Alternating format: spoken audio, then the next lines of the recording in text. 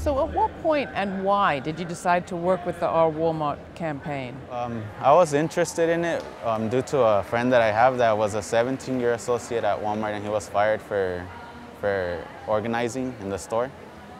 And I, just a lot of the stuff I saw in the store, um, people crying because they don't have enough to, to provide for their family or for themselves.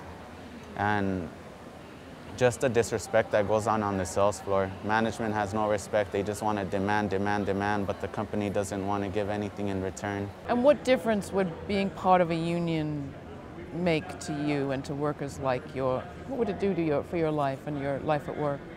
Well, it would provide a better paying job, more equality. Well, work would be um, acknowledged to those that work hard and there would just be a borderline as to what they can and can't do and what they can and can't get away with. And would it help you in your negotiations for things like time to go to school, time off?